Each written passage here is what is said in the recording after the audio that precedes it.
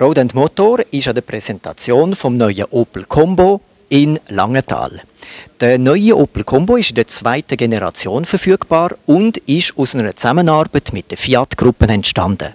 Es gibt ihn in einer Personenwagenausführung und in einer Lieferwagenausführung. Die Besonderheit vom Personenwagen ist, dass er über Schiebetüren verfügbar ist und ein 5- oder ein 7-Plätzer als im Modellangebot geführt wird. Es gibt ihn mit einer Normaldachausführung, wie wir ihn hier sehen, oder mit einem leicht erhöhten äh, Dach, das Scheiben hat. Das ist besonders interessant für Personentransport.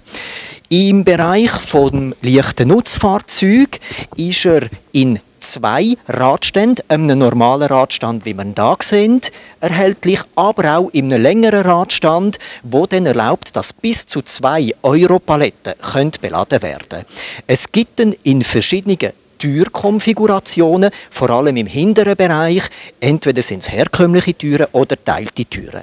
Als Option besonders interessant ist eine Klappe auf dem Dach oben, zum Beispiel für den Transport von Leitern oder Rohr. Von den Motorisierungen sind sowohl Benziner verfügbar, aber auch vier Modelle im Dieselbereich von 90 PS bis 135, von 1,6 Liter Hubraum bis 2 Liter rauf. Auch eine Erdgasversion ist verfügbar. Alle Motoren gibt es auch mit dem Ecoflex, wo besonders umweltfreundlich ist und serienmäßig Start-Stopp integrieren tun.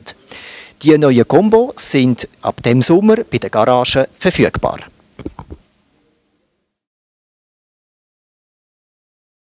Etwas habe ich noch vergessen zu erwähnen. Es gibt natürlich bei den Dieselmotorisierungen noch eine 1,3 Liter Variante mit 90 PS. Und auch preislich gibt es noch Interessantes zu berichten. Der ähm, Personenwagen fährt an bei 22.750 Franken und das leichte Nutzfahrzeug beginnt bei 19.950 Franken.